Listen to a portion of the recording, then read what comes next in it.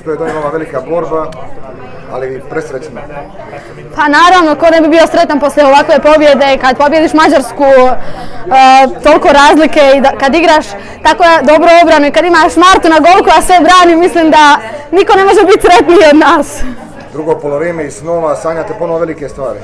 Pa mi smo ih sanjali od početka, samo smo to trebali dokazati i mislim da smo sad pokazali da će svi i u drugom grupi da nas se boje i da dobro nas analiziraju.